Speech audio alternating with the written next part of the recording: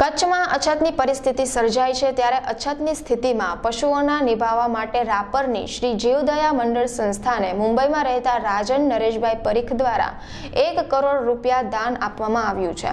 કચ્છની પાંજરાપોળમાં હજારો મૂંગા પશુઓ આશ્રય લે છે. ત્યારે દાનની રકમ થકી પશુઓ માટે ઘાસચારા ખરીદવામાં આવશે તેમ સંચાલકોએ જણાવ્યું હતું.